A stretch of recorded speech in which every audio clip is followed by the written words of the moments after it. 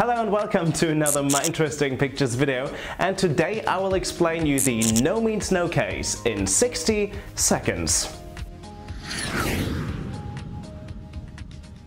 So let's start this 60 seconds now. Imagine somebody tries to rape you or is already raping you and you tell that person, no, I don't want that. Imagine you don't or you're just not able to defend yourself actively or fight that person by, for example, beating that person. Now imagine that simply saying no is not enough to successfully sue that person in court. In fact, it's the other way around. You are getting sued because you made a false statement. That was the legal situation in Germany until now. For years now, political parties in Germany fought for a change in law that simply saying no or stop it is enough to actually sue your rapist. But only now, things are changing. Why? Two things brought more awareness to the problem. First, the sexual assault in Cologne a couple of months ago. Second, the Gina Lisa case, a German celebrity who got supposedly raped by two men recorded on video. She screams stop it but got sued for making a false statement. But now the German parliament approved a new law. In future it is enough to call it a rape when the victim is only saying no or stop it and in future it is a crime when somebody grabs and touches you in a sexual way. So no means no.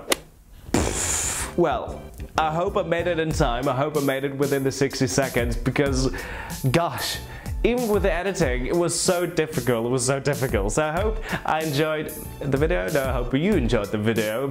I did actually enjoy the video.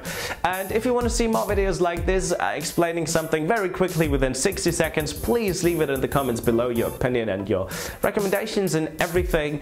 And yeah, that was it. Thank you very much for watching, and as always, stay interested to be more interesting. Goodbye.